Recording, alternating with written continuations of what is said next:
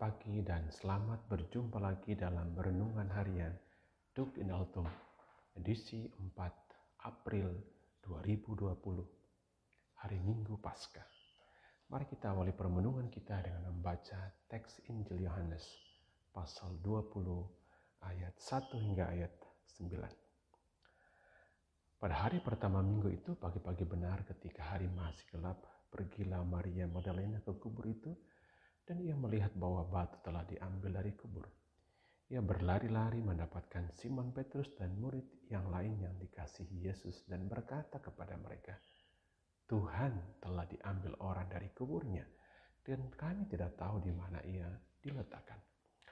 Maka berangkatlah Petrus dan murid yang lain itu ke kubur. Keduanya berlari bersama-sama tetapi murid yang lain itu berlari lebih cepat daripada Petrus sehingga lebih dahulu sampai di kubur. Ia menjenguk ke dalam dan melihat kain kafan terletak di tanah. Akan tetapi ia tidak masuk ke dalam. Maka datanglah Simon Petrus juga menyusul dia dan masuk ke dalam kubur itu. Ia melihat kain kafan terletak di tanah, sedang kain belu yang tadinya ada di kepala Yesus tidak terletak dekat kain kafan itu, tetapi agak di samping tempat yang lain dan sudah terkulung. Maka masuklah juga murid yang lain yang lebih dahulu sampai di kubur itu. Dan ia melihatnya dan percaya. Sebab selama itu mereka belum mengerti isi kitab suci yang mengatakan bahwa ia harus bangkit dari antara orang mati. Demikianlah Injil Tuhan. Terpujilah Kristus. Para sahabat terkasih, selamat pagi dan selamat merayakan pesta Paskah, pesta kebangkitan Tuhan kita Yesus Kristus. Dibanding pesta Natal, hari raya Paskah memang terkesan kurang meriah. Namun dari sisi iman dan liturginya, hari raya Paskah lebih kaya makna Bahkan pasca merupakan pesta iman yang paling penting dalam sejarah kekristenan. Mengapa pasca adalah pesta iman yang paling penting dalam sejarah kita? Ada tiga alasan. Pertama karena pasca kebangkitan Yesus adalah dasar fondasi iman kita. Paskah adalah mujizat terbesar dalam sejarah keselamatan manusia. Karena dengan bangkit, Yesus membuktikan bahwa dia adalah Tuhan.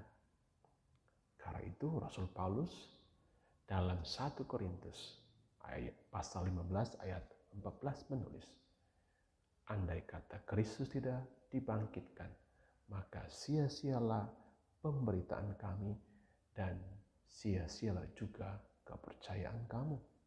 Dan jika Kristus tidak dibangkitkan, sia-sialah pemberitaan kami dan sia-sialah juga imanmu. Kebangkitan Yesus merupakan tema utama pewartaan para rasul. Karena Yesus telah meramalkan, menegaskan akan kebangkitannya sebagai bukti akan keilahiannya akan kealahannya.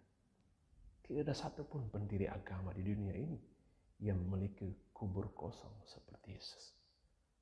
Kubur kosong Yesus adalah penanda jelas bahwa ia bangkit dan kebangkitannya adalah penanda juga jelas bahwa dia itu adalah Tuhan.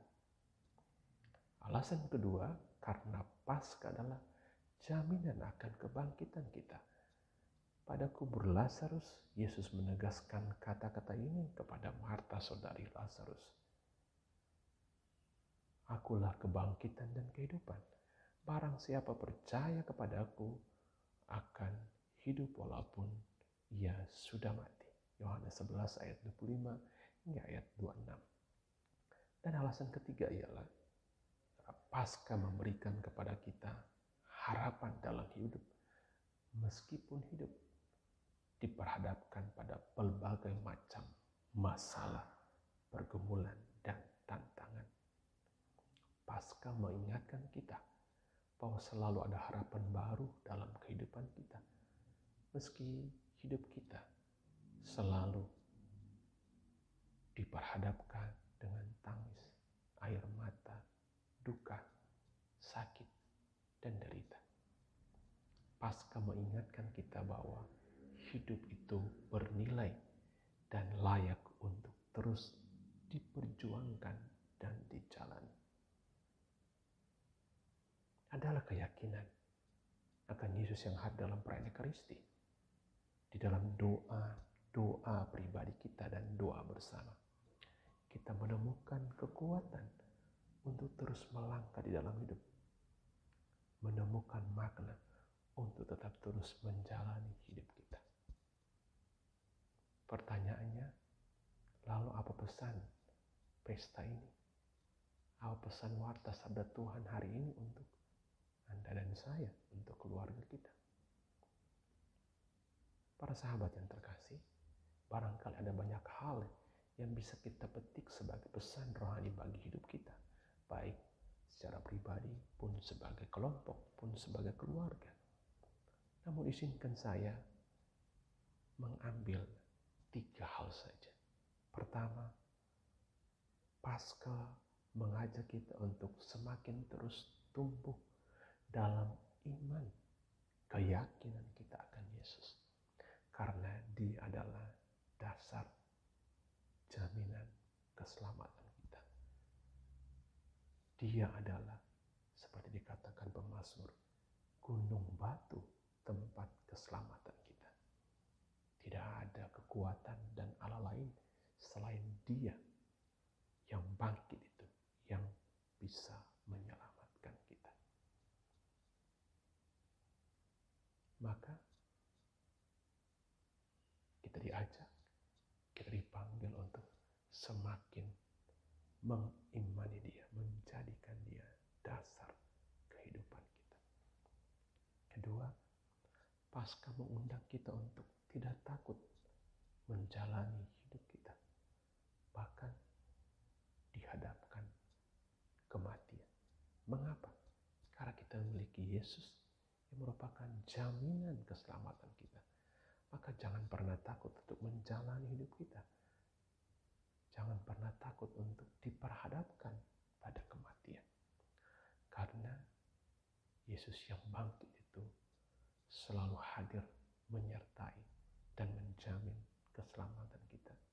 Syaratnya cuma satu, belajar, percaya, dan tetap terus percaya.